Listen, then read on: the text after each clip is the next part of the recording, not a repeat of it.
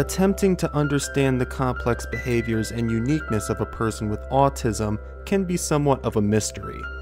For someone who was born under the autism spectrum, many people throughout my life would ask me questions like Why do you spell in the air? What's with the gestures? Why are you whispering? What is it that you're drawing? Then there were the questions from my parents When did you know he had autism? What is his special talent? Do you think he'll be able to live on his own?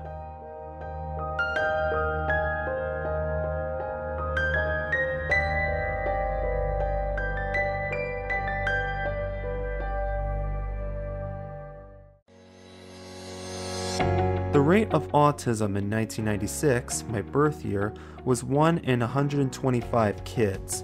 Today, it has risen to 1 in 54, and boys are still four times more likely to have autism than girls. Memories of my childhood are limited, and I have to rely on my family to fill them in for me.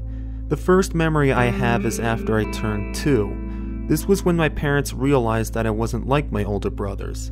I didn't seem to require as much sleep as the other kids, and I needed to be hugged firmly and wrapped tightly in blankets to fall asleep. They found out that keeping me on a schedule and maintaining a predictable routine worked the best. Schedules and routines continue to be guiding factors in my daily life, whether it involves work or school, mealtime, going to the gym, and even my hobbies. Structure and order just make sense. Explaining why someone acts or reacts in a certain way can be difficult, and certainly all people with autism aren't the same. Being a spectrum disorder, the effects have a wide range of impact on a person's ability to function. I was labeled as high functioning, which in clinical terms meant that I was at or above average intelligence. As an adult, I have been able to shed a little light on some of my past behaviors. Much of my frustration as a young boy stemmed from the inability of people around me to meet my needs. As a baby and toddler, I reached all the typical milestones earlier than expected. It was shortly after my second birthday when things changed. I lost the ability to communicate, I became nonverbal, aloof, and my parents thought I might have lost my hearing because I did not respond to any external stimuli. I was in my own world and I didn't really want anyone else in it. I began my fascination with letters around the age of two. I used the plastic refrigerator magnets to spell out words throughout my home.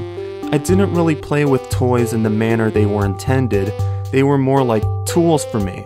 Writing words seemed to calm and reassure me as I liked to spell words that I saw in my surroundings. I insisted that closed captioning was turned on for TV shows and movies. This preference proved beneficial in enhancing my ability to learn how to read. In fact, I was the only kid in preschool who could read, although it was never out loud, as I still struggled to speak. My childhood schedule featured pictures and words of each daily activity. I was given choices. These were designed to help me verbalize my wants and to help meet my needs. The schedule eliminated a lot of the frustration, fits, and tantrums I had been experiencing over being misunderstood.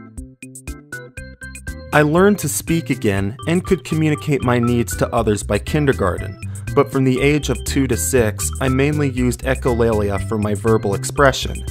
Echolalia is simply repeating words or sentences from other sources. For me, I used it even before I could generate words. In that, I used gibberish. I would repeat lines from my favorite cartoons. The irony in this is that I learned to use the lines in answering questions and asking for things from the people in my life. Oftentimes, my responses generated laughter and proved to be an endearing quality that pleased others. I didn't really understand this phenomenon until later in my life. My echolalia became a bit of a problem for me as I grew older. Although I no longer used immediate responses, I employed delayed echolalia as sort of a way to soothe and comfort myself when I was bored or stressed. I had a few phrases that brought positive thoughts and mental images, so I would just say them whenever they popped into my head to start a practice conversation, or whenever I needed a break from what was happening around me. One of my favorites was Bobcat Kittens. I would say it out loud, and my mom would answer, They're so cute. This was reassuring and made me happy. However, I learned over time that just spouting off random words and phrases was not socially appropriate, and I had to alter that behavior. At first, I changed it to a whisper, but found that others still viewed this as strange in a social setting, particularly in middle and high school. The next most logical alteration in this behavior made so much sense to me. Drawing on my past and my fascinations with letters and fonts, I decided to spell familiar phrases in the air. I could meet my needs quietly and without drawing unwanted attention. About the time I learned to spell in the air, I also began drawing. I discovered that I could sketch characters who could say the things I was thinking and was able to reassure myself without involving others. Perhaps it was this revelation that drew me into studying the art world. It's hard for me to see myself as a nonverbal child. I am grateful for the people in my life that give me room to develop self expression and find my way through their world. I have a feeling that words in the air will always bring me comfort and happiness.